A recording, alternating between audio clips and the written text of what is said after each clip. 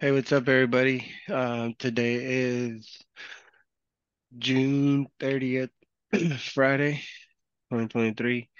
Um, we haven't had a recap in a couple of weeks. Um, it's pretty much been Lasagna Cat, um, just trading, trading his two setups and fine tuning his rules, fine tuning his strategy and his setup just so you can get more laser and more consistent. Um, and that's what you want to do is you want to try to keep building on your strategy or your setup, whatever your setup is. If it's fibs, you know, you can always um, ask fib questions on the mentor or on the mentorship when Brandon is on. Um, he's he's really good with fibs, and as you can see, he's given us a couple other elite level fib lessons. Um, but yeah, ask those questions if you're a fib player because they can only get better. And if you're not a fib player, then try to learn it um, because fibs actually help you out a lot.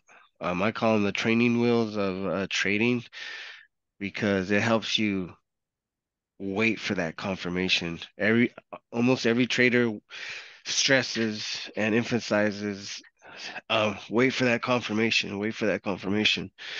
And sometimes when you're a new trader, you get the FOMO and you you you get emotional and then you, you you feel like you're gonna miss the boat but trust me just be patient there'll always be an, an, another setup either for continuation or a reversal play. Um but that all comes with time. Don't try to learn all those all those types of plays right out the gate. Just pick up on a setup that helps you helps you um uh, see price action or see a play setup, see a pattern setup, um, whatever helps you hone in on that on that setup, and then fine tune it, and then add to it. You can always add another setup if you're not finding trades. Um,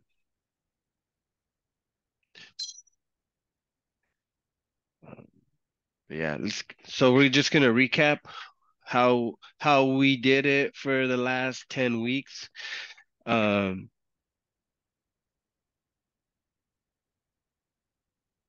yeah.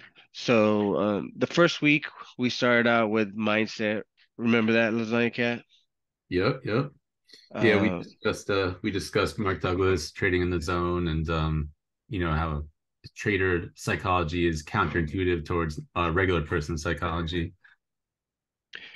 Do you feel that that that was helpful like being able to tell what the mind the correct mindset should be because I felt when I was always I was still trading in the regular person mindset and I felt that I was forcing trades. Yeah, yeah, absolutely. Like um it's uh the acceptance of risk and also like the the, the acceptance of uncertainty because it's like living in uncertainty is like what normal people try to avoid and like it's in the DNA of a trader as well. It's like it's just part of human wiring for survival. So it's like humans love sure things, you know, even if it's like, yeah, watch this TV show every Wednesday. You know, it's always going to be on and shit. And like you you want to and like so like or like having a normal nine to five job or, or like regular job like we all have like i've got a job and i know they're going to pay me a certain amount it's predictable but so with trading though it's it's what it is is you need to develop the the the, the probabilistic mindset um not a sure thing. Like even if you have an amazing setup that you rely on to win most of the time it's probabilistic. It's not a certainty. Like we're not looking for for for sure things. So it holds a lot of traders back is being inhibited because they're like i don't know if this is a sure thing or not. Well it's not you know? It's it's it's when you have a setup that works it's it's it's a probability that'll work out. So that's different from a normal person mindset you know uh, especially where money is concerned you know the risk of money. The other thing that i really gain from is uh um uh you know don't trade anything that you're willing to lose. Um and in this case it's a certain amount of money. And so we posted last week um, an old video of Connor's that talks about this. Great video. It's in the futures chat. It's just a few posts up from the bottom. Awesome video. And the beginning of it is really funny. It's really funny. And it just shows the relief that you get, especially when you're building your abilities to really understand what you're willing to lose per trade and how that affects your mindset. And like thirdly, just having a very secure, not secure, probabilistically reliable, uh, what you call it, um, setup really helps your mindset and walking yourself through the trade. Uh, but yeah, that first week talking about that was very beneficial because it helps with your your behavior, right? I remember you like started and become more more cool, calm, and collected about your trades instead of jumping in your trade and being nervous that it was going to yeah. go the wrong way or you would just cut it off short because you didn't know if it was going to go hit your target or not. Yeah, because like where the rubber really meets the road is that like when you have a um a, a setup that you're um that you're gaining comfort with, you can really spot where your stop out is going to be and you can set it. Now in, in my recaps, uh, even up until this week, there's some stop outs that I did get um that I stopped out way too way too low on. Uh, I don't know about way too low, but but too low on. Um, it didn't rattle me though because I knew what I had to do to get to get it tighter. You know what I mean? And then like that, it, it it's a work in progress. Um, yeah. but with that trade plan, you can really gauge what you know where what you're willing to risk is on the chart you mm-hmm. know your entry versus what you're willing to risk yeah. and so when you have that setup that's becoming reliable or is reliable in a probabilistic sense and you're able to map out where you need to stop to lose what you're okay with losing that gives you a lot of confidence because then you're trading you're accepting the risk the, the, the existence of risk you're you're making probabilistic decisions and you know that you're not will, uh, uh, losing anything that you're not willing to lose. Mm-hmm. So that that creates a lot of confidence, especially if you pair it up with a thing that we got into, or that I got into just a few years ago, uh, years ago, a few weeks ago, that Semper was uh, was showing me was to talk yourself through the price action through your trade. It, it's huge confidence boost. But as far as the first week goes, that's some of the stuff that I gleaned during the first week, talking about mindset and stuff. And it's really good. And um, yeah, and, and uh, 10K Scoville's just said uh that he uh you know, watch that video. It's a really yeah. funny video. Everyone should watch it. It's a great video. It, yeah, it, it is. It's funny and it drives the point home really well. Mm-hmm. Because because you're risking money that that you need. Like if you need to make a if you need to make a rent payment, then you shouldn't be trading. Go sim trade. You know what I'm saying? Yeah. Go put your 25 bucks, 50 bucks a month into your trading account until you're able to trade. Don't force trading until you're able to trade. I know some trading guys out there will say, well, start trading live right away so you can get the emotional part of it down. Um, which I think it, it, it is true in a sense, but actually practicing your setup so you know what to do in, in before you start risking money, I think you should know what a play looks like. You know what I'm saying? before uh yeah but yeah that's funny uh he said a baby needs a new pair of shoes let's roll the dice yeah you don't want to be that way you you want to know what your play is like everybody what every guru out there has in common is have a trade plan yeah. And where you're like, well, how do I create a trade plan? Everyone has a different way of creating their trade plan. Yeah. Um. But that leads us up into second into the second week where learning your setup will give you that trade plan. Yeah. And in the second week, we led uh Lasagna Cat. He's been with the elites for a while and he's had he's had a hit and miss with certain strategies that the elites have and he was drawn to one, and yeah. which was what? Um, you mind telling us how your strategy is? That actually leads us to this uh, this screenshot that I have here. Um, I, I show this screenshot at the beginning of every recap for the week. This is um so on the sem- uh, on the second week of uh, finding your way. uh Semper asked me, so like what's the setup that you're that you're kind of comfortable with, most comfortable with that you've seen that like is is fairly reliable or you've seen play out? And I was like, well, it, it's um a dump out.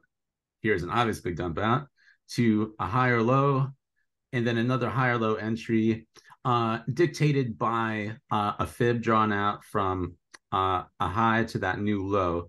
In, in this iteration of the setup, and this is really the best type of iteration of the setup it's a new low, dump out to new low. Then you see uh, RSI over overcool recover. Um, over here, I got my Mac uh, MACD. MACD is um, agreeing with that RSI. Uh, do do support, and it plays out like this. And use ideally a fib target or uh, or um, a moving average target. And if they line up together, all the better. So I identified that uh, at the second week, and then set out to trade that setup and only that setup. Um, some variations came in in in, in the weeks after, but we'll, we'll, we'll get to that as well. Yeah, great. Did did you figure that it helped you just focus on one setup, help you it, learn it, price action better? It helped me focus because like um for one thing, it allowed me to really relax during the part of the day where the setup wasn't apparent. So instead of me, um, where's the open? Yeah, the open's back here. Instead of me like watching all this price action, being like, "Where's the money? Where's the money? Like, where's the money? I'm I'm I'm I'm missing. Like, where? Where's mm-hmm. the FOMO?"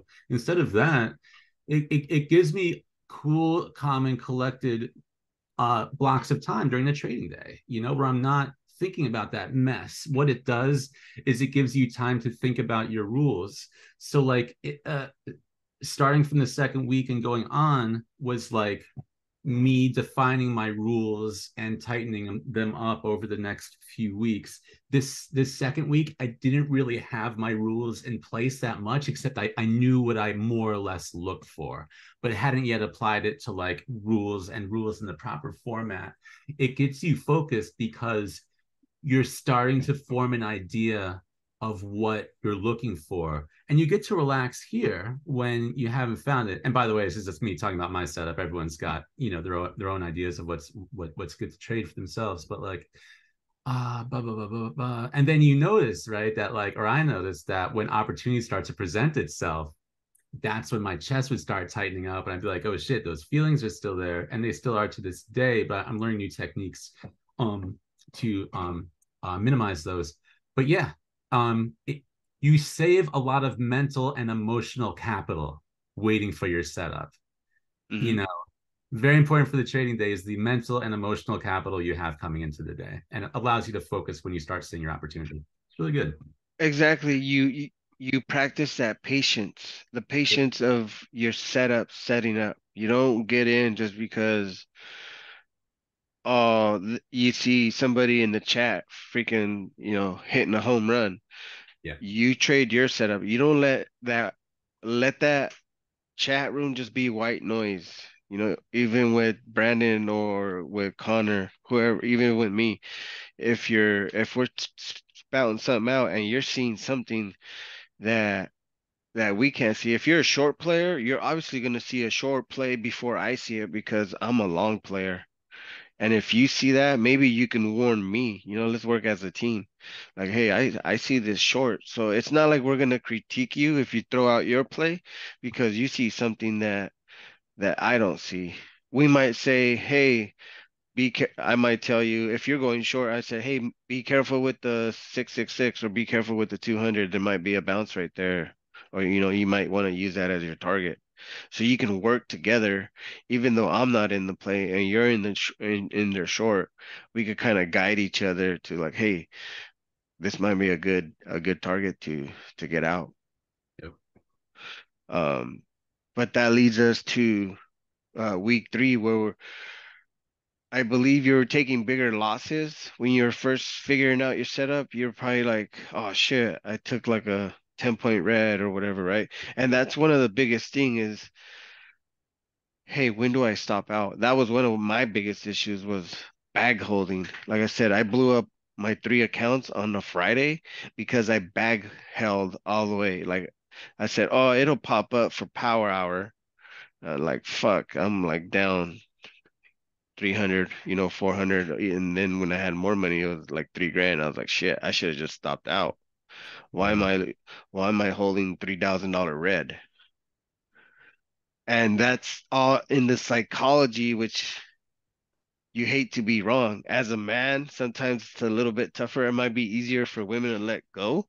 I'm not 100% sure if anybody wants to chime in on that part, but yeah, I feel that I, I hate to be wrong, you know, like the the saying goes that men hate to be wrong and it was true to at one point and then I was like, fuck this. I'm not bag holding. And yeah. then you start to create rules you start to create rules to be like, hey, this is going to be my stop out. And you can, and as you can see, uh, the last week or this this following this previous week that we traded Lasagna Cat, I showed you how you can adapt different stop losses to yeah to different strategies, kind mm-hmm. of mix them. Yeah. So instead of like the break of the 50, you want you want to wait the break of the 50 SMA or whatever, you know, something yeah. that you think um is a, a, is a strong that might be a stronger support. Yeah. Um but you have to have a stop loss defined either mentally, either either a fishing order like hey, mm-hmm. this fishing orders if you're a newbie that might be the best idea. Cuz I've shown this week I showed Lasagna Cat and Kyle like, hey, you can stop out and reset right away. Like reset in five minutes. Like, hey, let me okay. It, I was trying to go short, but obviously it's not short. It's going back long. Let me get back in long. Yeah. So you kind of adapt to the flow of price action. Yeah, I have a, I have one reset this from this week's recap where like I I stopped out because it hit my stop, but also I realized it wasn't a good entry for my my setup. And then like on the very next candle confirmed that it was funny enough. And so I just hopped back in again. And on that particular trade, it was like a two and a half point loss. And then I cranked out like four four points or four and a half on the first contract, then seven something on the second one. Um and it was it was a cool headed moment and i was just at that point and it like it felt good. I'm not saying i was at that point all week but it, it comes together in bits and pieces. And i think as you keep repeating that process you're going to start more comfortable with that play. You're going to be like shit this is like you know taking candy from a baby. Yeah and you're just going to be comfortable. You you know your setup. You know how your candles set up into your setup, yeah. into your into your zone or into your level. You you start to see that, and that helps. But creating rules, which the first couple, the first week of rules were trading rules. Like if you wake up, if you wake up and on the wrong side of the bed, you're not going to trade, or if you're not clear minded, if you're hungover, or if you're sick, you know, those are those kind of trading rules. Uh, with a little bit of, hey, I'm not going to take a trade until I see this. And that was one of the major things that I believe you you uh keyed on the following week was that we developed the rules asking yourself questions yeah or or walking yourself through the trade. Yeah, yeah, absolutely. Yeah, that was that was huge. Um, and that came about actually, Semper, because you posted you, you you talked about rules one week and you showed you showed like a, a screenshot of your rules written down and you had them you had your rules as questions. You know, like say like a rule is like I must wait for the 50-50 cross. I'm not saying that that definitely is, but just as an yeah. example, uh-huh. like like rule, rule number what? Rule number four, wait for the 50-50 cross. But instead, the way you did it was rule number four has the has the 50-50 crossed. That's a question. Is there a 50-50 cross?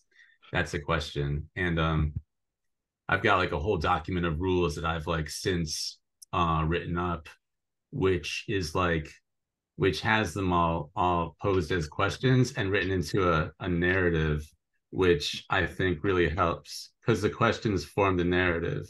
Um, you know, because you ask yourself throughout price action and throughout the trade, uh, when is data being released? Is there proper MA stacking? There must be proper stacking for reversal or long. Was there a big dump? Um, big dump. Um, how how do MAs look? Um, and then I go, what do I see? What do I want to see? Because that's like the the overarching question and narrative. What do I see? What do I want to see? Is price action at major support? What do I see? What would I like to see? What does RSI look like? These are three variations of RSI activity that I look for. So it's like, what does RSI look like? And that could be a little vague. Well, it looks like this, it looks like that. But he's your bullet points on the three acceptable things. Mm-hmm. Um, so so that's good, you know. And then uh so you walk yourself through this and it's your rules. This is sort of where the rubber meets the road as far as what we were talking about before, um, about how talking yourself through price action is going to be so beneficial. That's at least my version of it. And like, yeah, definitely, that's awesome. Because yeah. I I know that, like Brandon said this morning, was walking yourself or, or narrating the trade is like leaving no doubt. Yeah, your eye, you're speaking what your eyes see be, to your brain. You know, so your brain can make it's like inputting something into ChatGPT and it's going to spit out something that's what you're that's what you're doing to your brain. You're loading it up like, hey, I'm seeing this and I've seen this before and this is not what I don't yeah. this is something that I don't like. Yeah, because exactly. because it dumped on me, right? And I think after this week or after the week 3 you started to uh, like keep your red smaller and your green started to grow. Yeah. Um, um yeah, for sure. It, that comes from tightening up your rules and then also getting a stop loss rule. Because I was, I was like, wait a minute, I realized I don't have any rules for stopping out. And so I adopted, and again, to this day, you know, uh, like a month and a half later, I'm still not perfect at this, and you'll see that. But like, um, in terms of a moving average, uh, a higher low play, it could be a stop out underneath the the 23. Uh, fib. And what I found is sometimes that's a little bit too large and it makes me a little bit nervous and indecisive. It's like, let's say my rule is the 23 fib. Then I'll be like, oh, but wait, let me see if it closes below and shoots back up again. Like, I don't want to get shook out. So, like, even though you have that rule, you got to sort of like manage those tinier demons. Yep. Uh, Semper recently showed me a technique for making entries that are much more confirmed and that have tighter stops. Um, and again, I'm still honing those, but I'm able to keep those in mind and it's it's gonna I'm what's the word like osmosis. I'm I'm like I'm like a, a, little amoeba allowing these things to come into my my little personal ecosystem and absorb them into my trading minds. It doesn't happen automatically, but it happens. You just got to keep on top of it.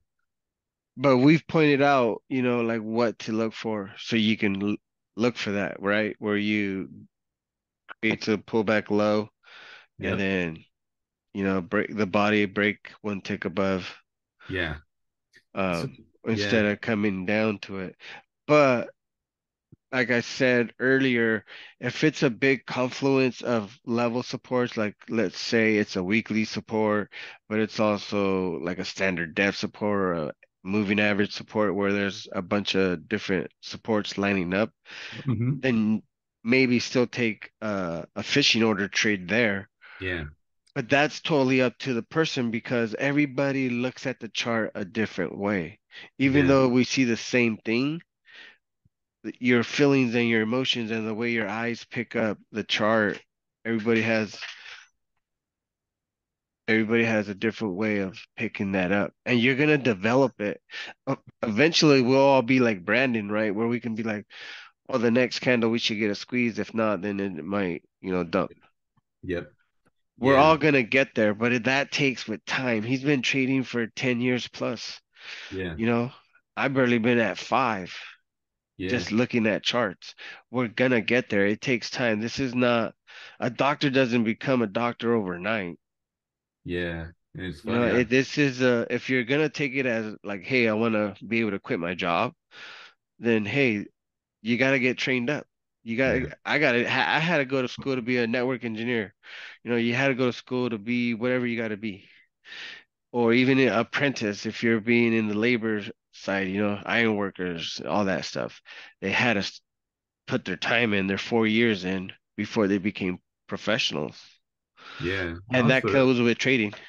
Go ahead. yeah. I, th- I think the thing a lot of people realize too is that like you have to also go to the right school. And um I, I was uh, I was attracted to BRT because Connor really seemed to have his head together and be more down to earth than the dudes used to pop up on YouTube and be like, they're like like make your fucking dreams come true trading for a year. Just like, yeah, get the fuck out of my face. In fact, I got YouTube premium without ads just so I wouldn't fucking see those guys anymore. Yeah. Um, and so Connor was more like, yeah, we all teach, you know, basically the same stuff. So just get on board with us, you know, because we're, we're, we're not bullshitting you. And Yeah. then when, when Brandon showed up, I was like, wow, this dude's got a very relatable personality and a very like just like relatable. And it made it made sense to me and my personality. And it's like, uh, yeah, go to go to the right school. Yeah, definitely with the positive mindset that Brandon brings, you know, Yeah. that and just being around like-minded per people that all want to have or all have the same goal, you know. Yeah. Like, hey, I see Semper doing, you know, a thousand dollar trade. I want to get to that level. You know, I I was posting trades when I was making ten dollars a trade. Like, hey, I had a ten dollar trade. Yeah. You know, when I first started trading futures live, you know, I was posting ten dollar wins, twenty five dollar wins, but I slowly built that up, and that's what you guys got to do. You're not gonna come in here overnight. Yeah, you could be a day trader in 30 days, but I don't think you can quit your job in 30 days. Um, at- because you just got to develop that eye or that brain development for your play, whatever that play is. Yeah. Uh, and that's what I like. That's another thing I like about BRT is they provide so many new tools. And even if there's a tool that you use and you ask them like, hey, have you used this tool or whatever? Sometimes even me, I'll start looking into that tool. Like that's what happened with the fib. I, I never used the fib, but I seen it. I seen it and it appealed to me because I call it the training wheels of trading. Where now I don't need the I don't need the fib. I can just go off of the moving average or um, RSI MACD play, you know. That's what I can do now. But before I needed the fib to be able to see that pullback because it helped me with confirmation. That was one of the biggest issues was was the confirmation. I would always FOMO. I would always FOMO. I was like, damn, there's something that I'm doing wrong. So then I just started like, man, I'm just gonna start doing what Brandon is doing, you know. So I started kind of calling out the plays to myself, and I noticed that my eyes opened up to price action. I was like, oh shit, okay. Uh, like for instance, like I I see a signal, like like let's see, I see the RSI overcool, right, and then come back to come back like right here, the RSI is overcool. So now you tell yourself when RSI is like right here. Because you want to try to predict and walk yourself ahead. It's like playing chess. Chess, the the masters are like five, ten moves ahead already. You know, you want to get ahead of the market, and the RSI is one of the things that could kind of signal um either TTM or MACD, but usually MACD is like the second confirmation signal for um for price action move. So like if I start seeing it price action right here in the middle, I would want to see it. I would tell myself, okay, I want to see it overcool now because obviously, if it's in the middle, look where price action is. You are you gonna get in right there? If you're gonna try to catch a falling knife, yeah, you would get in right there. Um, or you if you're a a zone or a, a price action trader, you would, you know, because of this little square, you would have, you know, that. So you kind of came back and retested it. Broke with this candle, came back and retested. So you probably could have got in right there if you're that type of trader. Um,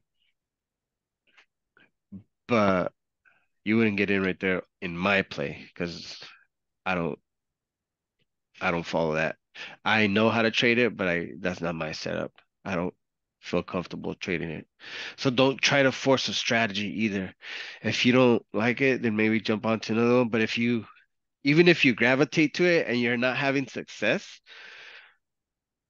go on YouTube and figure out other ways how other people use that same tool. You might you might see it work better for you if you do it. Like if you don't know how to fib and you're like, man, well, Brandon always fibs a candle that has a, a, a contact with the moving average. Well, what if you don't use that moving average, right? What are you gonna do? Well, you gotta figure out maybe how somebody else uses a fib. Uh, we used to have a trader trading with Nuke or trading with yeah trading with Nuke. Uh, he used to be a BRT member and he was awesome at fibs. Susan, she's awesome at fibs too. Uh, but yeah. Uh, so you're walking yourself to the trade and then you see that signal, right? So you see it going to overcool and then you're like, well, I want to see sellers move out of the way on TTM. You see that? That's check number two. What does volume look like? Okay, we got a Celebrate right there. I want to wait for something else. I want to wait for a third confirmation. Oh, it's coming back into my buy zone. Okay, I want to see that. I want to see it hold the 50. You see it hold the 50. Okay, you might think about be getting in right here. Yeah. And you walking yourself through the trade, you know, because you're kind of expecting that already. You see it do something, you're like, okay, I mean, go with that. Here's my stop. And you get in right here. Your target could be right there where Lasagna Cat's target is. Yeah and then you know you do that and you have a much better stop out than if you're using the 23 uh, fib as a stop out which can often you know work great but um uh i'm looking for those tighter stops. Since i'm still getting some large stop outs um i just need to buckle buckle down. Like my stopping out has gotten a lot better but you know there's still work to do um. Yeah even if it's like two point stop out. You know, it, instead of being the 23% or one tick below, I'll be like, okay, on this one, I'll take my my usual two point stop. You know, that'll be my stop out because that's what I'm willing to lose on this trade. Yeah. Because you're gonna keep your red small. It's always easier to make back ten dollars than make back a hundred dollars always easier. You can always recover ten dollars, and you you don't have that emotional attachment, right? You're like, yeah, I got shook out, but let me fucking reset. Let me reevaluate. Let me wait for the second leg, or let me wait for the second pullback. Yeah. You want to be able to just okay, let it go. Ten dollars ain't shit. I could take another three ten dollar losses. Yeah. And then and then you start walking yourself through the trade. Okay, I'm already out. I got stopped out. Let me see what I what I want to see next. Okay, it broke the 50 SMA. I want to see it come back and test it. Okay, I'm not getting in until it sees until I see it back test the 50 SMA. I'm I'm not sure if that's a 50 SMA by the way. I'm just that's hypothetical, right? If that was a 50 SMA right here, I say okay, it broke the 10 right here. So it came back and retested, right? So that's one of my rules come back. It breaks the breaks a level, whether it's a trend level, fib level, whatever.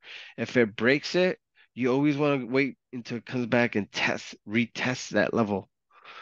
So you retest the 50 buy zone, you're like, okay, that's that's a play. Where can you catch it? To the 161 or moving average if it's like five points up. If this is the 200 or the 100 and it's five point five points up, you can lock in 75%. Hit your first target and then let the other rest ride. You can either attach it to a moving average, like I'm just gonna let it there, and if it stops me out right here, I'm gonna stop out. That's still awesome win. Yeah. Or I'm gonna attach it to the 50 SMA so I can give it a little bit more breathing room to hit my second target. Um, there's different plays, but in order to be consistent, as soon as it hits your first target, whatever it is, move up your stop. It was right here, right? Well, move it up to right here. Yeah. attach it to a moving average. If you have Ninja Trader, you can attach it to a moving average that it's above your entry, but you believe will give it breathing room to hit your second target. And that's all up to you. You might be able to hit the, you know, buy the, uh, sell the ask and and get out of a trade if you feel that you don't want to give back that much money or whatever the case may be. But guess what? You're gonna end up green no matter what. And that's what you want to do. Yeah, you give a little bit of money back. You'll get used to it. You'll be like, okay, next time I'll attach it to the 100 EMA. I'll give it more breathing room, and it's gonna come back to the 50 and then go back up. Right? Whatever the case is you'll start to trade your brain. Like even if it's a green trade, you always journal that shit. And that was one of the other rules is, hey, you need to journal your trades.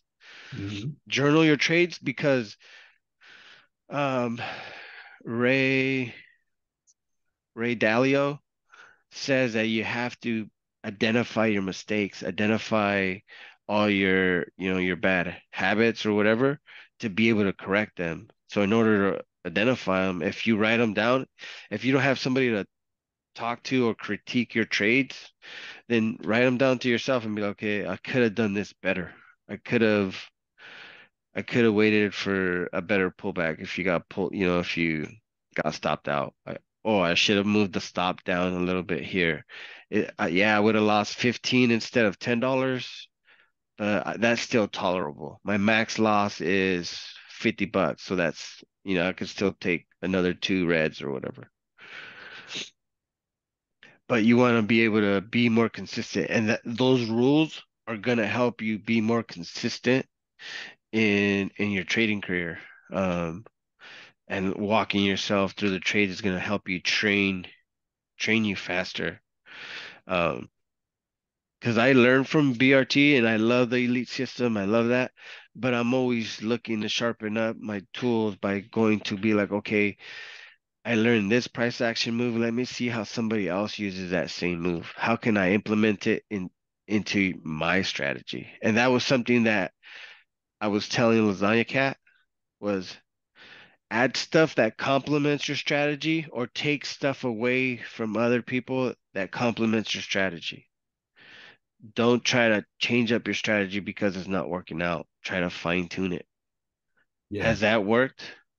Yeah, absolutely. Because like if you do the other way, like if you abandon your strategy, you just you just become one of those guys who bounces from a strategy to strategy. And there's no way if you do that, there's no way that you can establish any consistency because you're you're not you're not allowing the strategy to do its thing.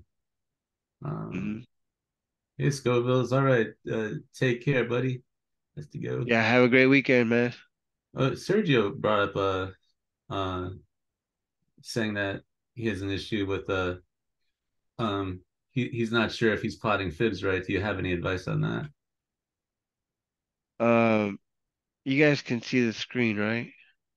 Um, usually what we wait for it to do is you can either you can practice fibbing higher lows. If you are you a long player?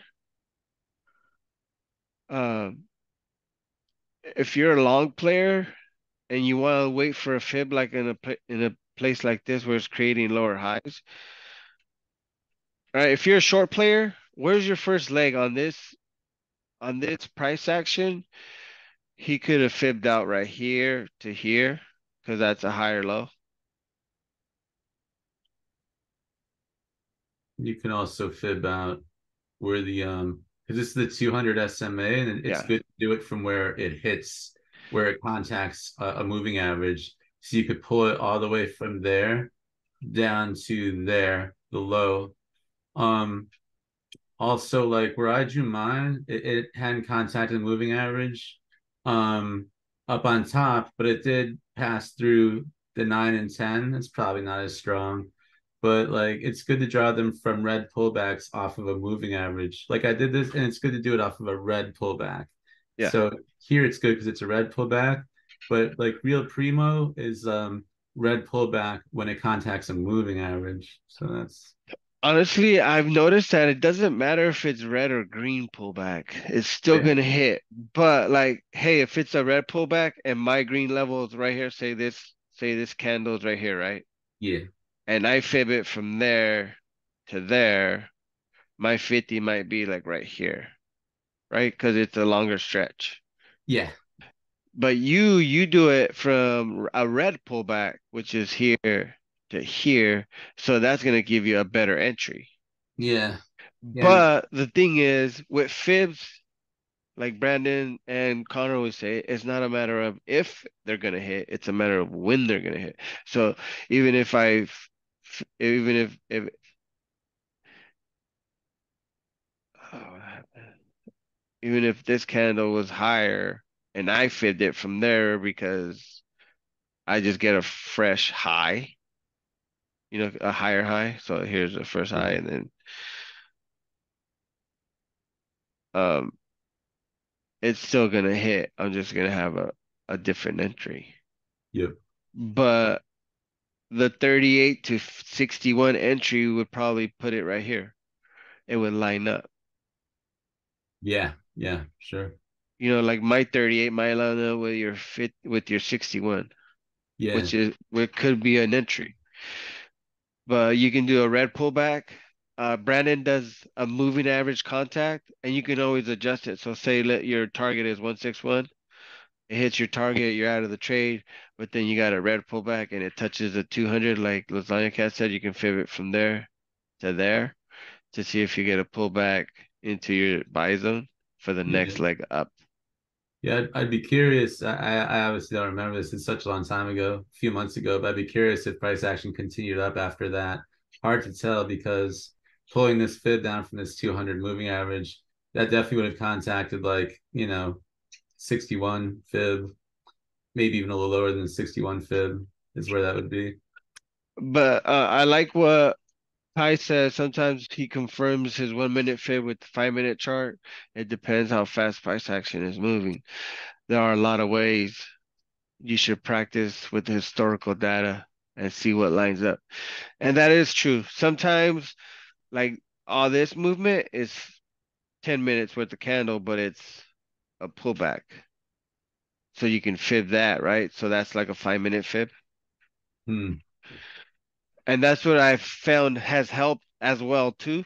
Like say uh the one minute looks choppy and you're like, fuck, I don't know what what how to read it. Jump onto the five minute. If you could see if you could see a nice little leg up, and then be like, okay, the next candle should open red because it's coming up to the five minute 666. Okay, so we might see a rejection. Let me see if we get a rejection. If we get a rejection, let me see if we get a pullback to the 10 SMA, right? For confirmation for continuation play. Let's see yep. if it stays above. It has to hold the 10 SMA, whatever, whatever strategy you use, right? Um, but you're gonna fib it out from there to there and the five minute will tell you will tell you it might help you stay in the trade longer you're like fuck you see all this chopping you're like man I'm, it's gonna go down right it's gonna go down and then you you jump onto the five minute and you're like okay the five minute still looks good it looks bullish it looks stronger than the one minute and then yeah. jump onto the 30 minute to confirm the five minute. You jump onto the five. Usually, when it's a good bullish move or a good drop, the the five and the 30 are aligned. Wait, repeat that. Usually, when like say in the one minute you don't know where price action is going, jump onto the five or the 30. Yeah. Because it might give you a clear a more clear view of what price action might do. Yeah, yeah, for sure. Because even though the one minute is choppy as heck, you jump onto the five minute, you might see a nice little, nice little leg forming. You're like, okay, this is expected. I can stay in the trade a little bit longer. But that's later when you're you can tolerate a bigger loss, or you can tolerate a, a what we say, put your big boy your big boy pants on, you know, a little bigger, large a larger stop loss, but by then you might be averaging down. So that's like your next step, Lasagna Cat, is when the average down and when the scale up, or you know what I'm saying? Yeah, yeah. I have I have one average down uh trade from this week that that worked out real well. Um, but yeah, that's uh, that's an aspect that I haven't put too much thought towards. But yeah, that's yeah, a nice a nice new level up to, to aim for. Yeah. Um, and uh, you asked before if, if um how's it been incorporating other like bits into my strategy and stuff, and the those those leg entries have been really helpful. Um, you know, for discerning when something's going to be a falling knife or like when something is going to continue for real confirmation. Because like I used to think, and a lot of people think, like if, if you got a if you got like a fib drawn and and you see a pullback, but it's not pulling back to a major level, you have no way of knowing if that pullback is going to falling knife or if it's going to continue up. Yeah. So the way to deal with that is instead of buying on the way down, which has been my habit, Oh yeah, yeah, Sergio. Yeah, that's a that's a very common issue that I've been wrestling with actually for for years now. so, but I think we found a key to to yeah. resolve that issue, right? Because it seemed like you were catching falling knives. How they say it? Um, or getting in the trade early, a little yeah. bit early, but you would get stopped out because your stop was was like my entry was too high, you know? Yeah. And so when it came to like like a small stop out, I was like, man, I gotta get out. Like I'd be buying up there. And like and like I was like, why aren't my fishing orders working? Like you're supposed to use fishing orders and stuff. And like in certain situations, sure. But in a situation where your pullback isn't distinctly onto a major level with with proper catalyst stacking. Even that on its own doesn't really work unless your catalysts are, are looking good on mm-hmm. point. But in a situation like this, you see where my entry is, right? It happened to work out. But what you do is you take the low candle, and you know, this happens to be sort of like two low candles at the same level. Yeah. But then you wait for the next candle that happens to push above. Um, you often use the body of the low candle. In this case, the body was like a doji. So mm-hmm. it's so it's like an, one tick up is like here or here.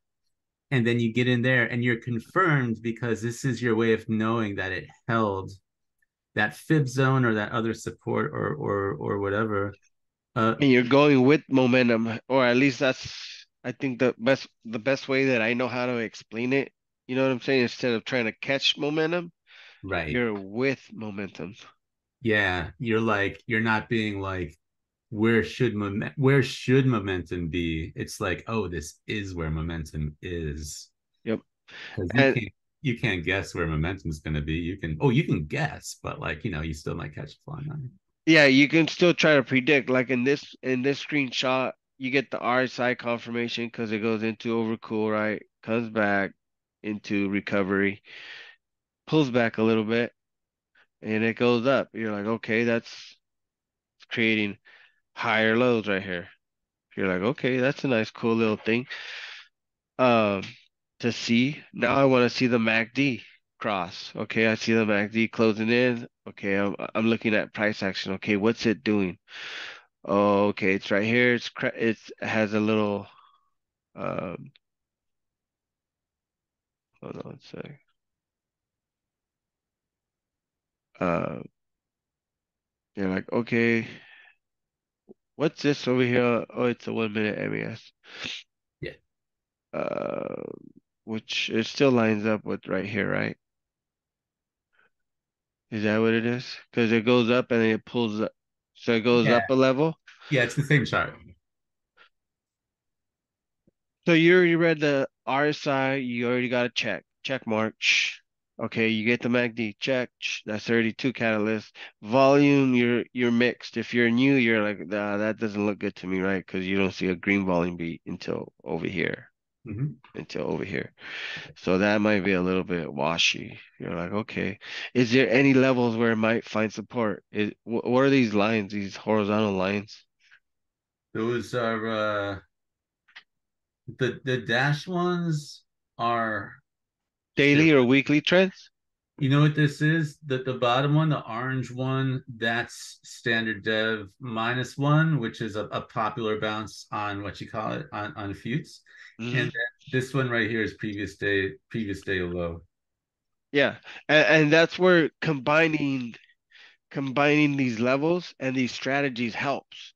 So not just having one strategy, unless you're just a pure price action and you're you know you're just purely price action or support and demand zone uh action, then having a lot of indicators might not be your style.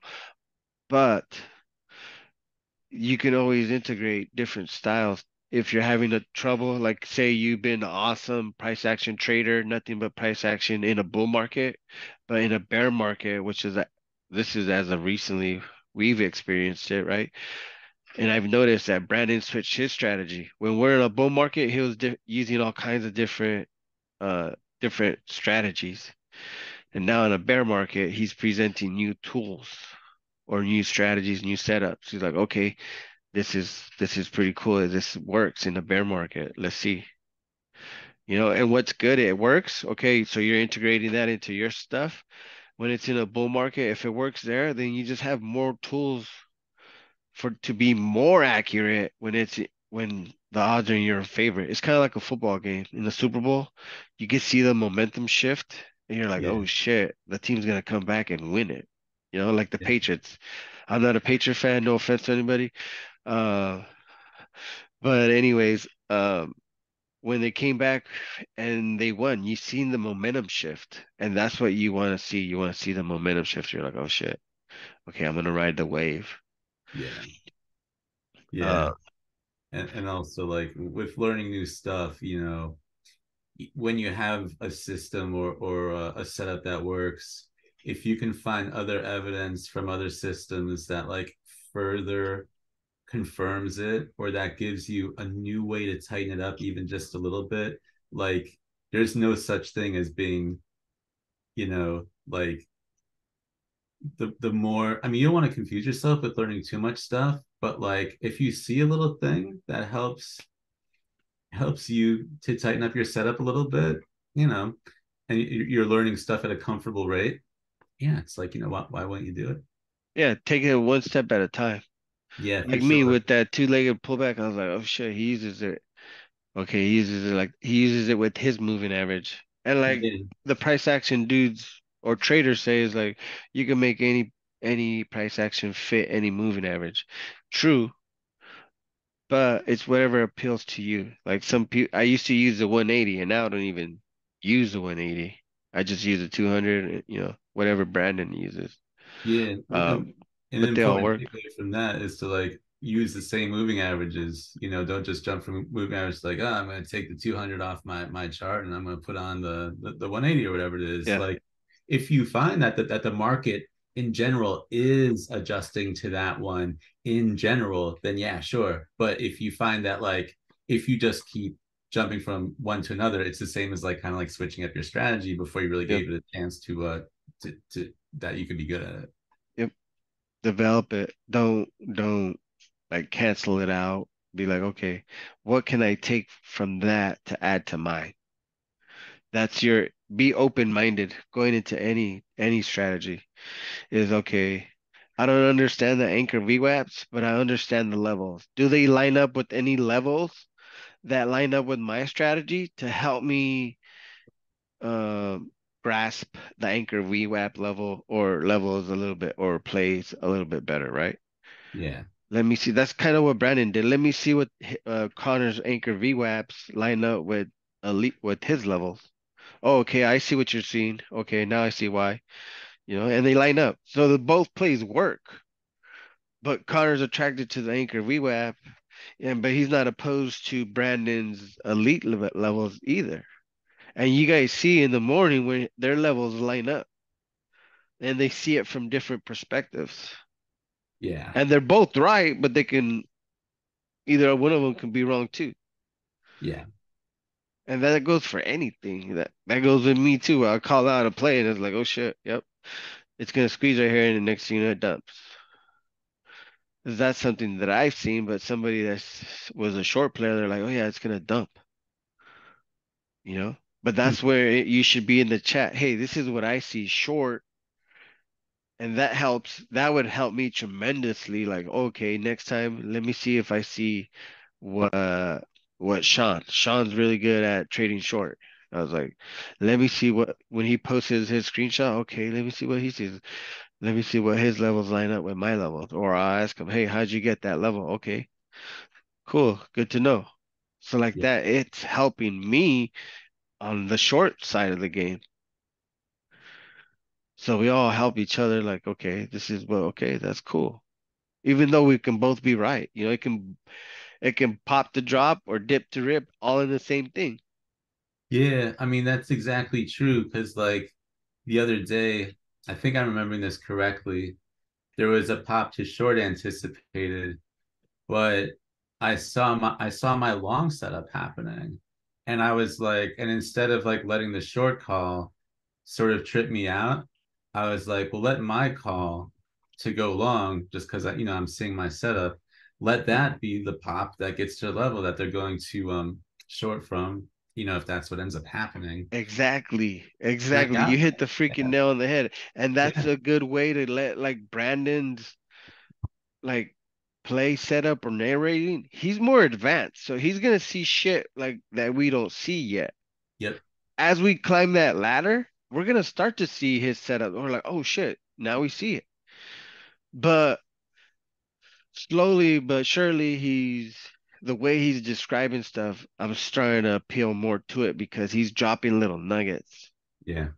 I don't know if it's because I've been here for a few years and it's like, oh shit, now I'm starting to see why he does it. Just like when uh, I was telling you guys three weeks ago, like talk yourself through the trade, or when we first started, is talk yourself through the trade because you're training yourself, you know, to minimize doubt. Yeah. And that was all these little nuggets. You're like, well, shit, what the fuck? I'm not crazy by talking to myself. Uh, I don't know. It reminds me of that show back in the day where it used to be in that dude's head, Oh, and it was like a comedy. Yeah. I was thinking about that show the other day. Holy shit. But anyways, that that was the first show, and that's what you gotta do is have that conversation in your head or out loud or whatever, Yeah. whatever it is, have that conversation. Uh, so then the following week, after creating some basic rules, was okay. Now you got your your first setup, and then you got some basic rules around it. Let let's continue going there. We continued fine tuning those. Like, okay, now you're you're you started tightening up your your stop loss, and I seen that improving, and I seen your stop losses improving, and your reset recovery was also improving. Yeah. So all these little things are improving at the same time, you know, even though you don't see it, I see it. Somebody else will see it. You're like, oh shit, he's starting to catch on. So now he's keeping his red small. He's not bag holding no more. So that should give you the confidence. Okay, I'm in a lot better state to not blow up my account Mm-hmm. Yeah. and grow it. So Yeah. grow it more consistently. Don't put that pressure. I know that that daily goal, because one of our one of our strategy or system to to create that consistency is let's take what you're trading, right? Like let's say you start with 600. For example, that's what I started out. My goal for one month was to double that, Yeah. 600 bucks for one month. So I took the 600 month goal. And then the best way to achieve your goal is break it down into manageable chunks. So then I took 600 bucks, divided that by four. Okay, that's a lot better. That that number looks a lot more achievable, right? Yeah. You're like, fuck, I got 600 bucks. You're like, damn, you feel that pressure, but you're like, okay, let me break it down. Yeah. Let me break it down. Okay, it'd be 150 bucks a week. Oh, that seems like like I can make that. You know, I make I make 300 bucks in a day at work. Let me see if I can make 150. That should be pretty cool. Okay, let me break it down into even more smaller chunk. So I do f divided by five. So that's, you know, 25 bucks or like 30 bucks a day. Yeah. Um, uh, so that's 30 bucks a day. Okay, that's a little bit better.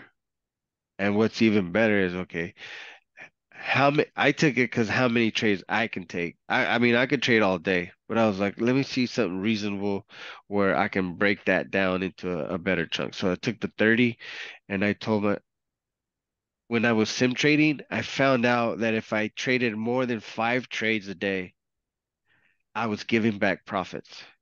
Either because I was forcing trades, now I can trade more consistently, where I can trade five, six times a day and and still win. But that, even that is is a little bit more nerve wracking because you feel like you're gonna give money back. Mm-hmm. Because you never know. It might be a fucking news fucking alert that a war, World War Three is gonna start. You're like, oh shit, and then there goes your, you know, that could be at a moment's notice. Yep. So creating that practice of, hey, I can only take four trades, I can only take two trades, even if you can only take two trades, right? You're like, fuck. I broke it down and, and my daily and my daily goal is 50 bucks and I can only take two trades. Uh and it's and it's only and it's 25 bucks a trade because I can only take two, right? You're like, Yeah. fuck, that seems a little, you still feel that pressure. You're like, fuck. Yeah. Okay, well then let's readjust. Let's minimize my goal. Instead of 600, let's do 500, 400. hmm Something where you feel, you don't feel that pressure like, hey, let, if I hit 25 bucks, I'm good. and something that creates more consistency that I told you to add to your strategy. So if you're addicted to trading, which futures can become addicting, But we might have to start AA meeting after Yeah. after a few years or so. Uh, I think I'm but ready now. anyways, what's that? I think I'm ready now. Uh, but after you hit your daily goal, fucking call it a day. Yep. Fucking call it a win. Fucking be proud of that shit. And then you know, you you go into the next day, you carry that Yeah. that conf that confidence, and Yeah. you like stack it up, stack I, up little wins. for sure. I can't remember if it was you who said it or Brandon who said it. It was it was about not trading after you meet your goal. And it was like, so your goal is your job for the day. Um, so if your job for the day was to paint a house, when you're done painting the house, you're not going to keep painting the house. You're done painting the house. Yeah, You, exactly. you have to have that defined. But if you don't have it defined, you know, you it, feels like you're endlessly trading. You're like, fuck. This, it doesn't make it fun. yeah, It doesn't make it fun. But at least having at, at least in my eyes, that's just the type of thing. Like, if I hit my daily goal, I'm like, fuck yeah, I'm fucking done for the day. You know, yeah, I like that's like a big weight off my shoulders, even though the pressure's not really on it. You know, if I end up fit, if my daily max red is 50 bucks, I'll be like, cool, I can lose that. You know, yeah, that's my max stop. I can lose that. No, no, shake that shit off and start trading the next day. yeah, And that helps you reset. That helps you create that mentality of like, hey, I'm just gonna reset.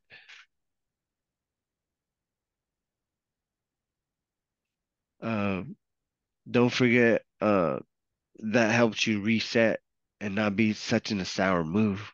But if you're bag holding and you don't have that stop defined and you're a hundred red and you don't have that defined, you're like, fuck, fuck this shit. This is not for me, right.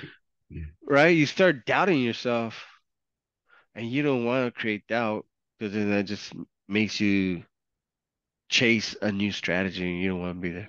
Yeah. You, you start you'll start taking uh bad setups, setups that aren't there. I like after you st after the painting the house, you just start spray painting the cats and the kids and the car. Uh, that's funny. And, Nah, and yeah, it, it it could become addiction, but have that like instead of once you hit your daily goal, you still have like okay, ultimately I want to trade four or five trades a day, right? hmm, Set that up. Okay, so I'll trade two live because my account size and my my schedule right now, hmm my schedule right now only allows me to trade two. Yeah, So let me let me take two live trades and let me take three or, or uh, two or three sim trades to see what kind of target you can hit. Yeah. And you're still going to use the same strategy, the same stop loss, because just because it's sim, you don't want to be like, yeah, I'll let it come all the way down here to the 200 when that's like 10 points away. And Well, that's not your normal stop loss. Yeah. You, you still want to keep the same habits. You don't want to start creating bad habits. Yeah. Because we started, you know, we if you're a, a current member, you probably have some bad habits from other trading or whatever you've created while you've learned. Like I've had to correct all my habits, but now we're trying to start creating good habits. And if you start sim trading and just extending your stop, you're gonna recreate that live. mm, true. You don't want that. You don't want to recreate it. Be the same shit. Same same rules apply. Yeah. And that's something that creating rules helps too, because you're practicing your rules, you're practicing your strategy in sim. Like if you're doing the the prop the prop firms, go sim trade your your strategy. Okay, I'm gonna do my strategy. I'm gonna fine tune it. I'm gonna create rules. Okay, I created rules. Okay, now I'm gonna walk myself to the trade.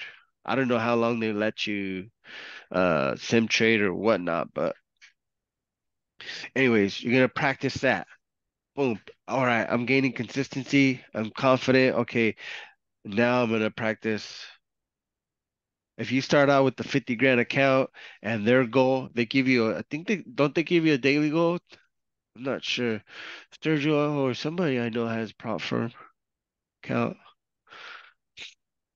Uh, but anyways, if they have a fifty fifty thousand, make that your fucking goal. Make their goal your goal. Okay, fuck it. Let me work on that strategy. Let me fine tune my strategy in sim until I'm hitting that until I'm hitting that goal. And then you can fucking go blow up your account or, or go uh, you know, literally blow it up in a good way, like up, not like kaboosh god. like mine, when they blew out, they weren't coming back.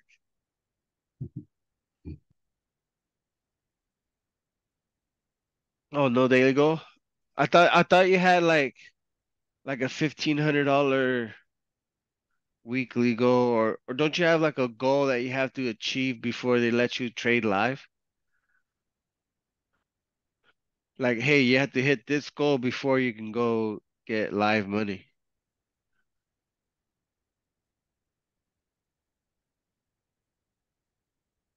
Okay, so that's not bad. 3K, you could with 50K account, you should fucking be able to hit that shit in a month for sure.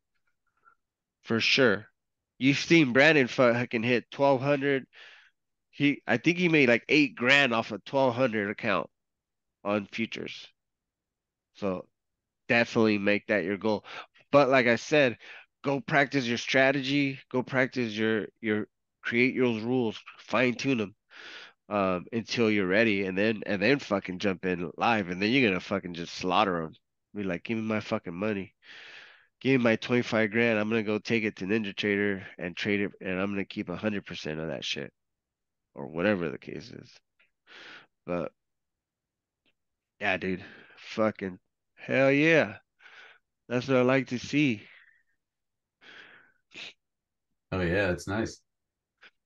Um, so keep at it, dude. I mean, you it looks consistent to me, Yep. and you've seen me, you know, consistency. You just keep. If you see so, if you fuck up on a trade, okay, what did I do wrong? You want to try that, find that consistency, and that's where we slowly created. He took his second setup, and then the following week we added uh, more rules to that setup. You remember that process? Oh, is that um? Oh, I'm sorry, I, I missed that. I was looking at something else. Were you talking about when we did the moving averages? Yeah, Oh yeah. yeah, When we added a second setup, and then we it was like a, a setup that I told you to trade only after you completed your first two trades with your fib, and then start looking. We slowly added it to your to your current first setup Yeah. as a secondary So fallback plan. so I do have that setup. So this is a moving average setup. So um you see it's like really similar to like this one. You know, there's the same uh established support and then um, you hit a higher low. So like let's say on this one, this has a really nice fib area too. It's got a pullback from the 50 moving averages down to uh again a, a standard dev support uh with a higher low here. Um but let's say like this is my ad zone on my fib, this grayed out area and uh boom it, it, it jumped out and i didn't get my entry. It just jumped out you know and like i, I missed it. Um so what we do here is uh semper was like all right let's let's add moving averages. So what it is is like okay so it busted out of my fib ad zone. All right. But now it's uh it busted over the 50 moving average and um is finding some support there um hits its head on the 100 and makes the pullback. And I believe that's a common elites moving average thing. Yep. Is like you get the 50, you get the 100.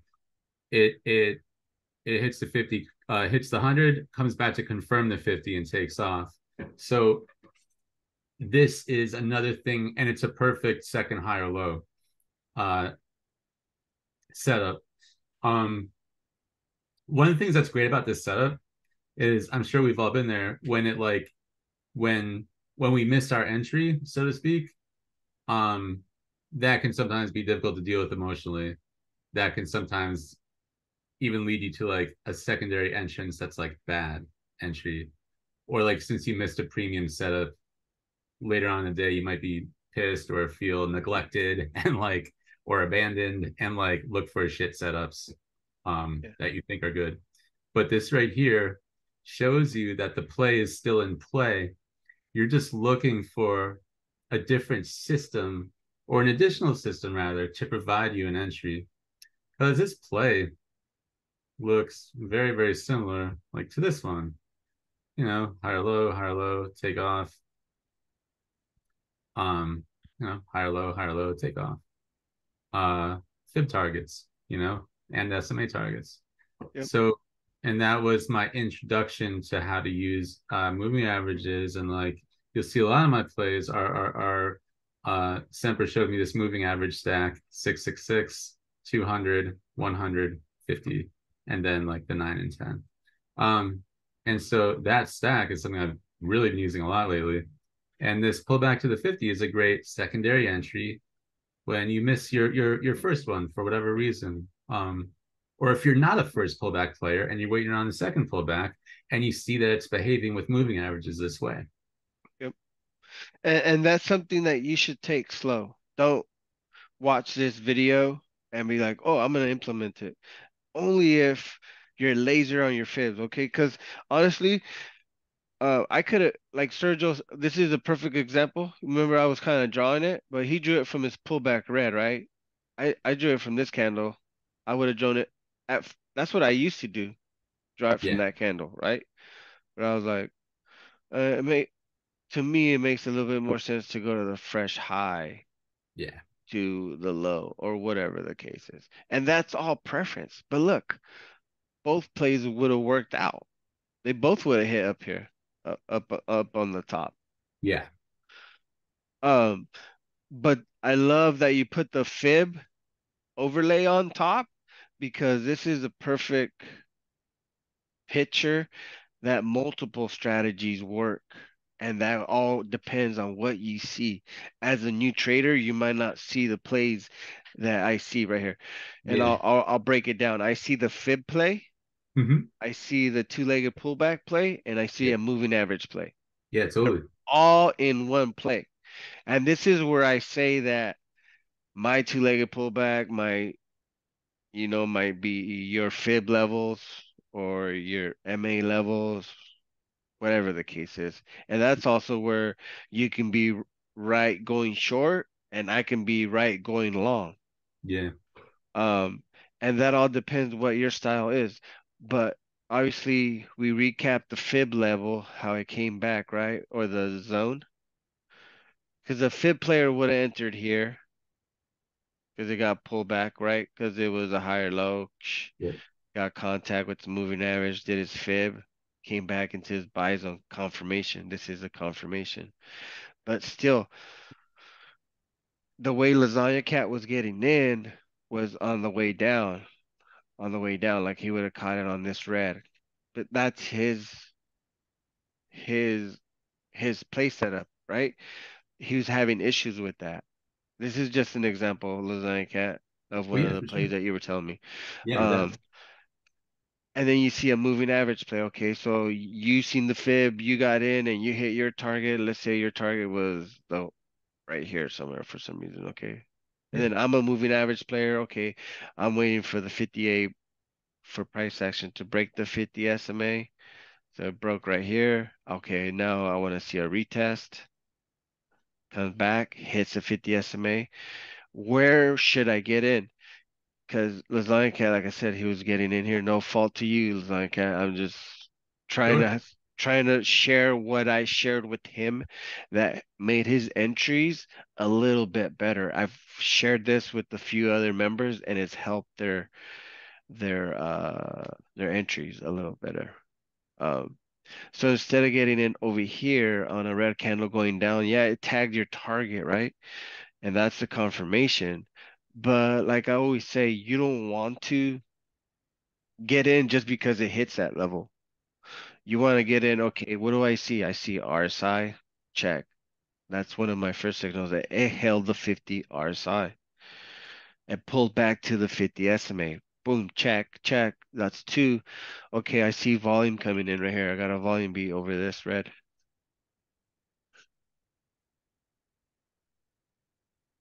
Um, you know, so I got a volume beat right here. Okay, uh, maybe I should get in.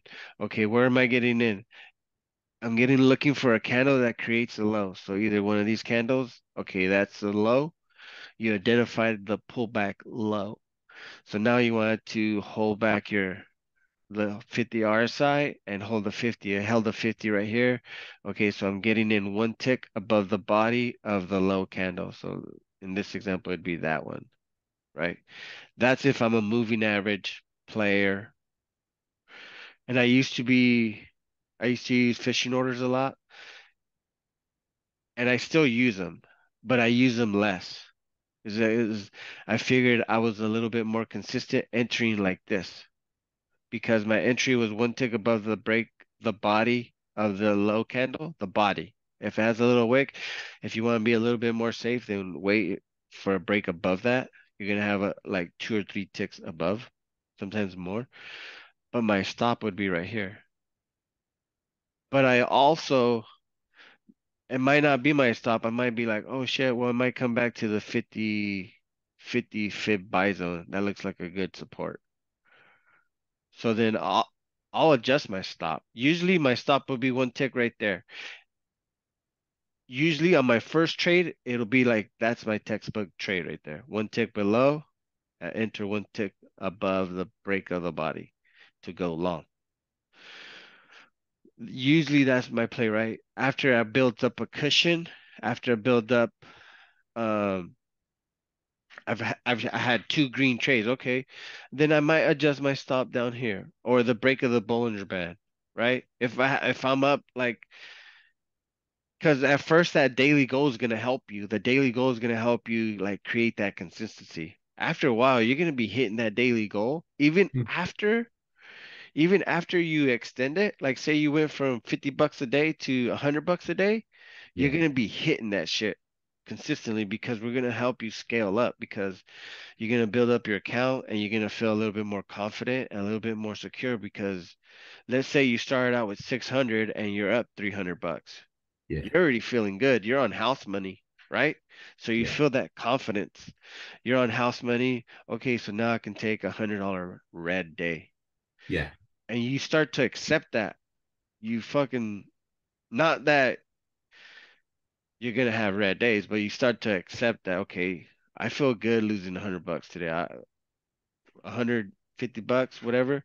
Because let's say you take four trades and you have one more trade for the day, or you take three trades and you have one more trade for the day, and you're like 25 bucks away from your red, but it's about to close. Because remember, if if you start out with six or eight hundred bucks, you have to have twelve hundred bucks right now in your account by 1:45 p.m. Pacific Standard Time, which would be what 4:45 Eastern Mhm. Time.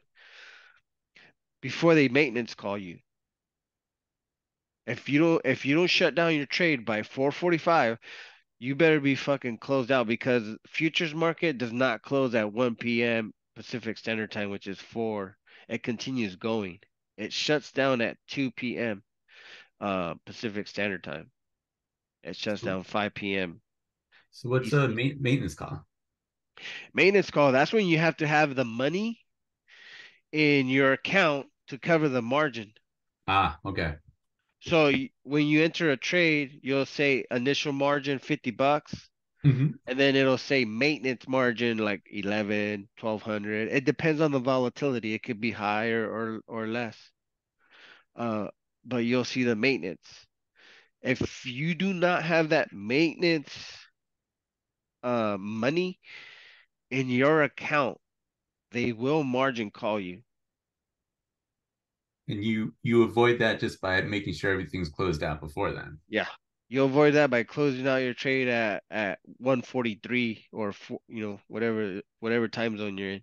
Yeah. Um, like two minutes before 145 or you know 15 minutes before close. Because I, when I first started out, I was like, "Fuck yeah!" It you know it looked like a bull flag. It's gonna fucking break. It's gonna continuation. I was like, "Hell yeah!" I'm gonna mm-hmm. hold. and then I mm-hmm. come back to my computer and I'm, you know, red. I was like, what the fuck? Oh, that's fucked up. Red 50 bucks. right. And you're, they're like, oh shit. And then I got an email like margin calls, like, oh fuck. Yeah. And they'll waive the first time, they'll waive it. The second time it'll be 25 bucks. And then the third time will be 50 bucks or more. Or after subsequent will be 50 bucks. and they'll fucking blow up your your account. You just blow it up when you're a small account, like say six hundred, you blow it up, and you only have fifty bucks in there. Yeah. After, you can still like say, "Fuck, I just lost six hundred bucks. I had to fucking wait another three months until I save up." That fifty bucks will stay in there, but you have to keep putting fifty bucks. You have to keep building that account up. Yeah.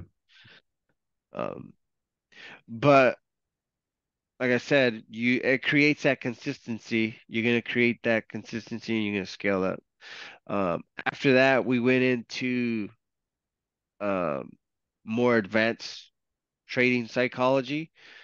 At first, we're like my market psychology or uh, not market, uh, trading psychology. Now we're market psychology. Like what does what does that on what happens on data days? What happens uh when Powell's gonna speak? What happens on certain certain things? And this is all stuff that you guys should be jotting down. And this is where I started to I started to see a pattern. I started to see a pattern like if they run it up right before Powell, that means Powell's gonna say something that's gonna drop it. But if they dump it right before Powell, then Powell's gonna say something to push it back up. And I started to see that pattern. And and it flips and it flops. And that's where we start talking about um good data is good for the market or good data is bad for the market, right? Because it's like when they were saying uh oh, we need inflation to go down. We need inflation to go down, right? But what happens when inflation goes down? Uh, jobs, jobs should go up, uh, or not. Uh, job cut. There should be more jobs on the market, right? But the good news of having a strong job market was bad for the market because that means people still want to buy and have the money to go buy. So you kind of you have to think inverse. Why is having a strong market bad for the market in that instance or in that instance? Um, so you kind of got to be like, okay, because you have to kind of, you have to, you don't have to, but it'll benefit you if you understand. Because sometimes I'm like, I'm clueless. We're like, well, is this good for the market or bad for the market? I'll straight up ask uh, Brandon, is this good or bad? And then he started explaining like, oh, okay, now I see why it's bad for the market. And then that's after. First, you want to start on your trading psychology because you want to think inverse of a regular how we grew up. Now you want you want you want to see how the market how the inverse of the market is and you'll start to see that okay so the if the data is good and you'll start to see the headlines in the news before the mar- before the data comes out there'll be little hints okay this might happen or they'll say oh it's already baked in right that's one of their favorite phrases uh, the the 0.50 hike raise is baked in okay so if he said if if Powell says something to the effect that it is baked in, then it's good for the data. But if he says no, we're still raising high or we're still raising hikes, oh shit, that's that's hawkish. So it's gonna go down. So that's where we get into deeper uh, market mindset, market psychology, and that's a little bit more advanced. Um, but that's when you start to put all the pieces together. And right now, Lasagna Cat, he's gotten better, right, Lasagna Cat, where you're like, fuck, I hate trading data days. I fucking get burned all the time too. Like, okay, let me wait for the second leg or let me wait, you know, 15 minutes after the, the data release. Yeah, absolutely. And even in a, a week like this where there's a couple of Powell days, I um that's where it was revealed to me like okay i see opportunities here but they're just scalps you know like i was like all right these are scalping opportunities. And like um you know it was interesting because during market hours this week none of those powells like like like resulted in a huge whipsaw move um which was also interesting. But um yeah it's it's like those types of uh, that type of data release is going to really dictate what type of day it's going to be. So it's it's a matter of being on your toes and being willing to roll with the punches of that. Yep. Or or even if you're not comfortable trading those days, sim trade it. Yeah. Okay, I see my setup. Let me see what happens in sim trading. Yeah. You're gonna start to get used to and develop, okay, this is how I should trade these days. And yeah. that's what I started doing. Okay, fucking remember Brandon says says, "Oh, I'm not gonna trade in. I'm not gonna trade Monday right uh right be, right before Powell Day because he right. knows there's gonna be chop." Yeah. Well, and, and another one is like I used to I used to really I used to really like get a lot of reds by by continuously trying to go go long on an algo sell day and like mm-hmm because like how do you know that the whole day is gonna be a sell? But I, have learned some tools recently to really help guard myself against that. Um, second leg entries um, the moving average stack is huge for that. Um, and then also do those second leg entries small stops you know hey guess what? You get two of those in a day just leave go yeah. you know it's over yeah, that's one of the rules that I had that I, you know, I posted my rules. I don't know if you want to post your rules for others to see, but we can pin it. Um, where I have either uh, I have two, I have three stop losses, right?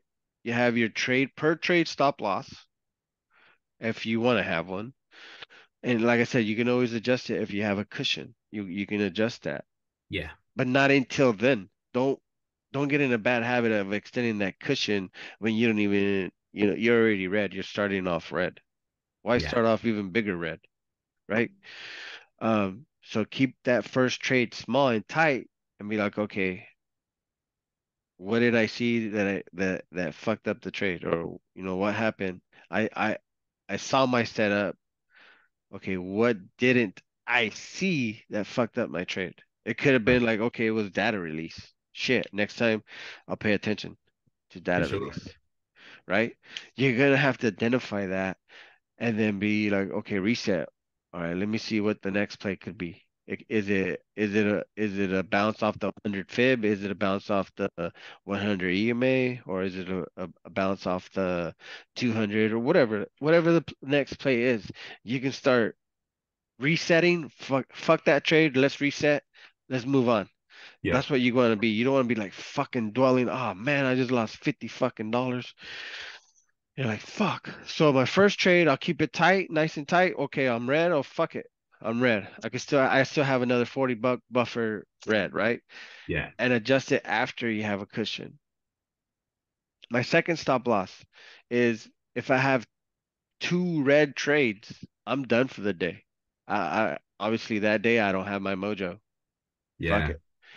Fuck it. Let's let's call it a day, or I'm gonna wait until power hour. As I gain as I gain more experience, like if I had two red trades, okay, I'm gonna not trade the rest of the day. Okay, after that, I would sim trade during power hour. Okay, so let me see if I can make my money back during power hour.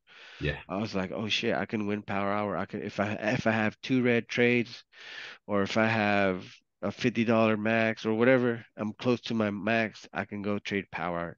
So then I started correcting that habit because yeah, you're afraid of continuing to go red, but you're you're still seeing the setup, so you're practicing. Okay, I can reset.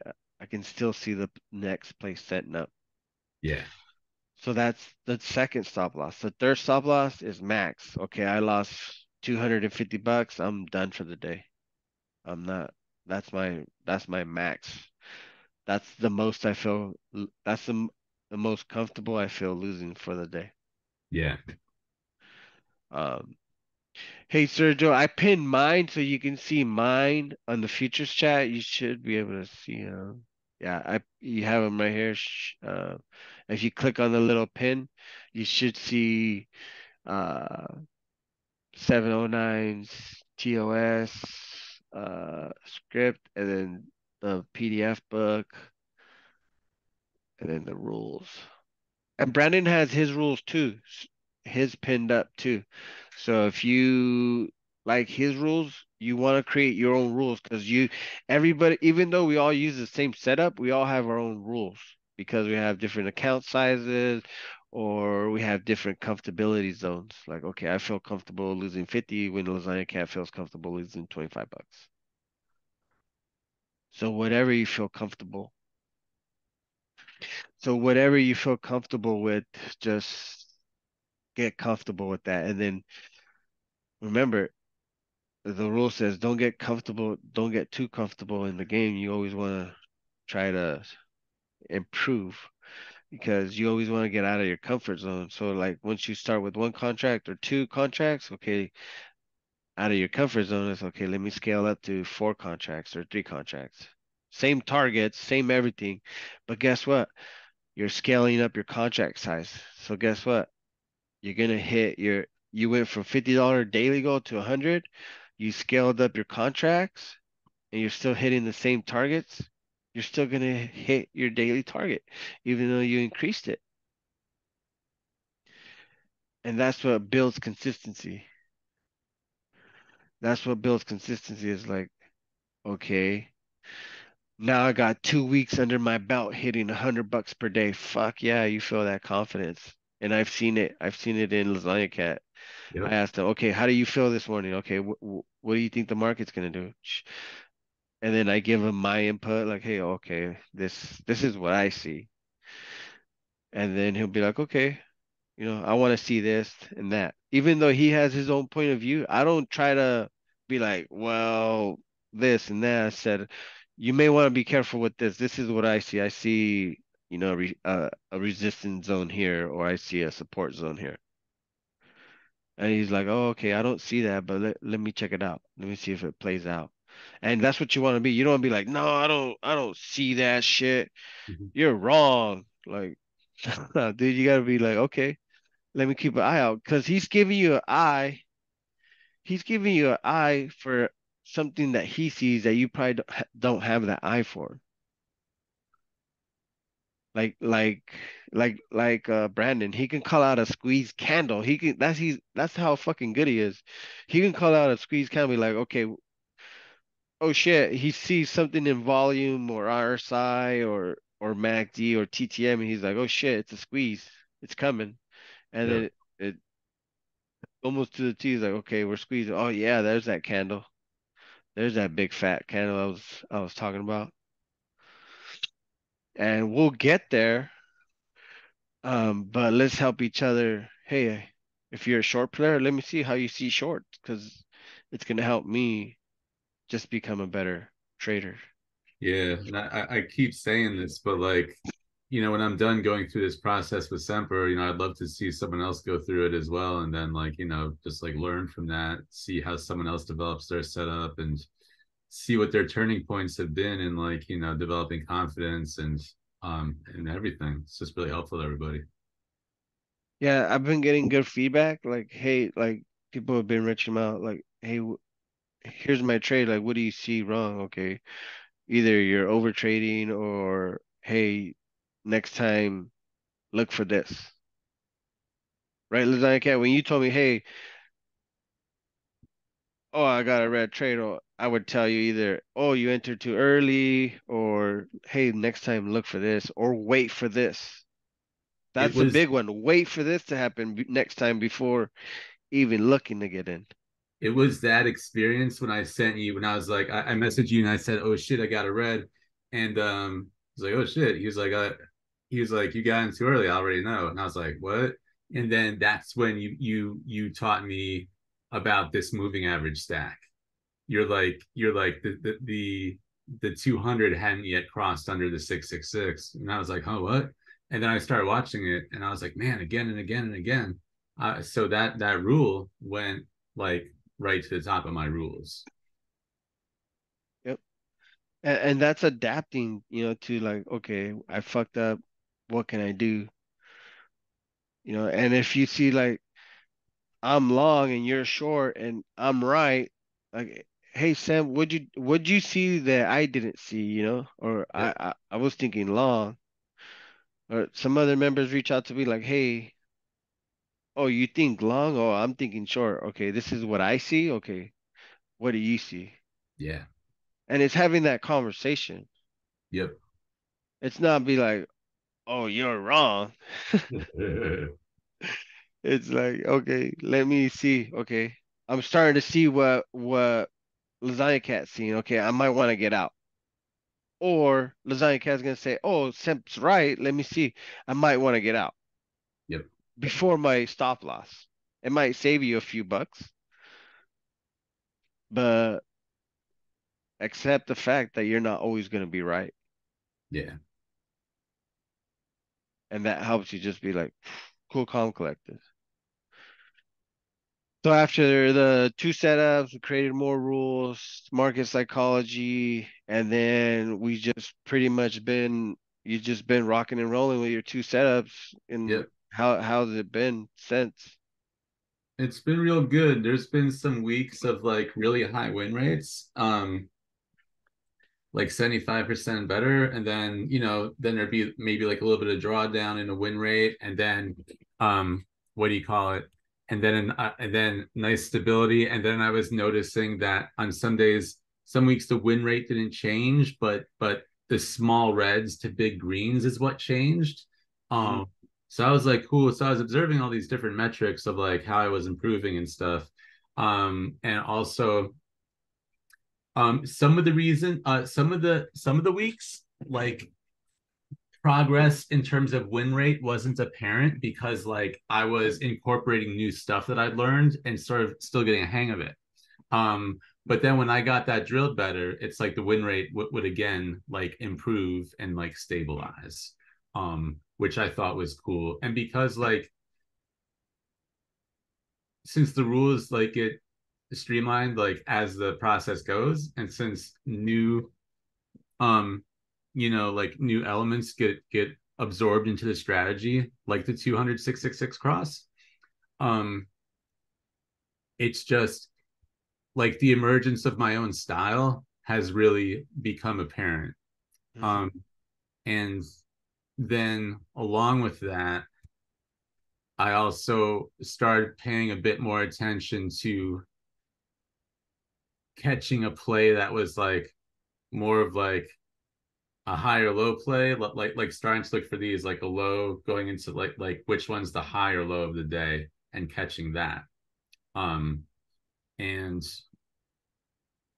so so that would be like the last few weeks and um it's it's been going great and um and the thing that really has improved a lot is the confidence level and like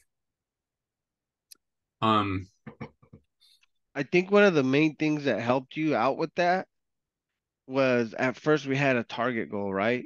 yeah Because in order for you to hit your trade, your per trade target, you had to hit three points per trade. We figured that out, right? yeah We're like, okay, we can hit three trades or we can hit three points. So we got you used to hitting three points. And you guys will see me, I'll catch five points and I'm fucking happy with that. Oh, Yep. that's cool. That's 25 ticks or uh 20 ticks. That's that's pretty damn good. You know, depending on how and then you get used to that. So you're gonna create that consistency even faster because you're not shooting you're not you're not trying to hit home runs right now. What you want to do is just add up those base hits, add up those base hits. You know, just like the A's. I'm an A's fan. They had the uh the Moneyball thing yeah they would yeah, just get they would just get a bunch of players that could get on base. Yeah. So that's what we that's what we're practicing. Hey, let's practice getting on base. Okay, so we're gonna practice just getting on base. Okay, let me hit my first target. Lock out. If you starting out with one contract, one target, right? Three points, one target. Yeah. With two, with two, with two, that's when shit. That's when shit and futures can get real and fucking real fucking good. yeah After you can get with two, because you can still lock in because you're used to hitting that three points. Lock in one right there, and then let one ride. And if you don't want to give up less than three points on that second contract, then move your stop up to that to that point, to Yeah. that three points, right? And let it ride. And if you get stopped out, you're fucking green. Who gives a fuck? Yep. And and that's what I'm thinking for starting to trade live is, you know, I'm going to start with two contracts. So um, you know, I'm going to keep, you know, levels and moving averages in mind, but what I have in mind is a, a three point target for the first one and then let one ride and then, you know, do um and dictate my stop like either uh e- either like the next moving average down or, you know, maybe the uh uh what you call it? Um what is it called? Entry. Yeah like the entry point. Mm-hmm. um because like I, i'm gonna base a lot of it on tighter stops. And so like i could take a stop on the second contract but i also feel kind of protective because it's my second because it's going to be my first week live trading Mm-hmm. so Uh, just because we're doing the small account challenge, don't feel the pressure of like, hey, I want to be able to post a fucking a fifty dollar win on two contracts on the first day. right Don't don't put that pressure on you. It's whatever you feel comfortable with. It's not to, you know, be putting unneeded pressure. yeah Uh, absolutely and just share your trades. yeah Uh, or if you don't want to, then don't. It doesn't matter. It's just like keep that routine going forward. yeah Don't go backwards. yeah for sure forwards only Um, so it's been real good, and um, you know, even even including this week, I've uh, oh, Steve D says, "Let's see the magic." Hell yeah, Steve. We'll see if we can create it. Yeah, Wish me luck. Uh, cool. yeah. I, I'm really looking forward to that. I'm I'm looking forward to the the live. Are are you going to like be posting a meeting link? This kind Yeah, of probably. Yeah, probably on Friday or on Monday. I mean, yeah, um, yeah. we'll um, see. It might be super slow, so I may or may not be able to take a trade. But I'm gonna try to narrate how I'm how I'm walking myself to the trade. We could just do it how we do it, like how we did it this morning, where hey, you're you're telling me what you see, and I'm telling you what I see. Yeah, Doing sure. it as a team, like okay, this is what I see. Okay, okay, it looks like Simp's price action is moving towards his target or his price level. Let me see. For sure. And, and we'll we'll do uh, interaction uh, through the the futures uh, Discord chat. Uh, probably just regular Brandon's chat, I guess. I don't know. All right. Figure it out. It'll be my first time. I'm Yeah. a little bit nervous, but we'll see. Uh, it's understandable. Yeah, I, I, I'll be nervous too because I'll be trading, uh, you know, money again. You know. Oh yeah, yeah, Yeah. definitely. Maybe not that nervous. I don't know. I, I feel good. Like I don't feel any intimidation about it. Like I just feel like, you know, I'm gonna just kind of look for what I've been looking and not trip myself out. Yeah, yeah, definitely. Well, we're here to help, and I mean that's hopefully what what people get out of this. Uh, but definitely, I I love the I love where you started out because I knew you were down and kind of out. Yeah. You know, so we're here to pick each other up. That's another thing that I picked up out of here, man. If you're struggling or if you're out there like just like about to give up, don't give up. This shit takes time. It takes time. Even if you've been here for a while, we're here to pick each other up and help each other out. Freaking Yeah. see what it's all about.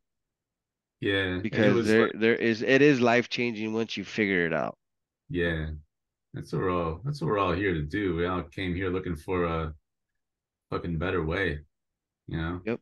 And that better way doesn't involve stressing yourself out. And that better way doesn't involve living in the dark with frustration. Because like the whole the whole way that we that you know you started bringing me through this over the last few months was that back in in March, at the end of March, I was like, I I messaged you and I was like, yo, I had a bad month. And I remember like I was like, man, I want to tell anyone about this. And but then I was like, well, I'll, I'll tell Semper. And then I was like, yo, man, I'm had a bad month. I'm going to trade Sim in April. And like and then soon after that or maybe in the same conversation you're like or we could do this. And like you know that's what the last three months have been. Yeah, because I I've seen you grow from like non-confident, you know, like back to sim trading, and I've been there, trust me. yeah. Uh, I don't know if you've had the the the opportunity to blow up an account, or at least as many as I I did, but I guess that's just the type of trader. It, it, I'm a stubborn trader, and it took a lot for me to figure that shit out. well I, I didn't like blowing blowing up in a, in like a very like you know explosive kind of way but I've definitely bled a couple dry that's for sure Yeah, yeah, definitely. Well, uh, like I said, I hope you continue going and and keep us updated. Um, oh yeah. hopefully we can work something out where somebody where we get a, a new trader like, hey, you want to go through this? We're gonna hold your hand. We're gonna walk you through the whole process. How how kind of I would have liked to have been done, yeah but you know we learn as we go, and yeah I mean and we learn. I honestly, it helps me teaching you guys or giving you whatever I've picked up from Brandon. It helps me retain it, and it helps. It, the biggest part is it holds me accountable. yeah. Um and like and, and for me it's just like i've improved on all metrics. Like have you improved in this? Yes. Have you improved in that? Yes. Like have you improved psychology? Yes. Have you improved in like uh making your greens bigger than your reds? Yes. Have you improved in finding setups that you're lying? Yes. Like have you improved in like having rock solid rules that okay you know you're you're still tightening up and and abiding by but it's like yes and um and so it, th- this has been a golden opportunity. So I got I got to thank you and also thank thank the group because it's been really cool, and I, I feel I'm just in like a much better place, you know. And For um, sure. it's I, I- you know it's the, the improvement is obvious. Yeah, definitely. And thank you for sharing or being vulnerable to us, dude, because it takes a lot. A lot of people are shy of sharing their reds or sharing whatever they're going through. But it's kind of like AA. I mean, you know, you got to admit that you have an issue Yeah, before you can get help. And we're we're here to help. yeah, Um, so reach out to me, Lasagna Cat. He's picking this up pretty good. The moving average plays um are there, fib plays are there. Running out of time. Probably gonna not let me record past there. So we'll probably post another video of the recaps. Um, but yeah, be on the lookout for Lasagna Cat. He's gonna fucking kill it. See you yeah. guys. Have a great weekend. Have a good one, fellas.